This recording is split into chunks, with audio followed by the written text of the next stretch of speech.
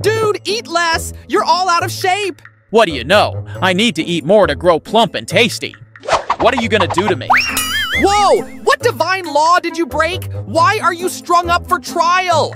Help! I'm scared of heights. Get me down. It's so uncomfortable hanging upside down like this. this is what happens when you eat so much all the time! Huh? Wait, this feels kinda weird? Wow, how did I get such a well-proportioned figure? These sleek lines. I've instantly become a top model in the loofah world.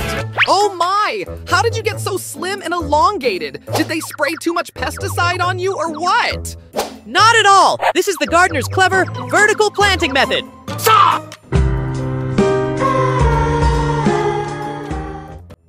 By growing the loofahs upside down and suspending them in the air, we boost photosynthesis efficiency, helping them accumulate more sugar, grow faster, and longer. It's like giving them a full body stretch. Gravity acts as a free personal trainer, pulling them long and straight, giving them a well proportioned figure, and saving them from growing all crooked and lumpy.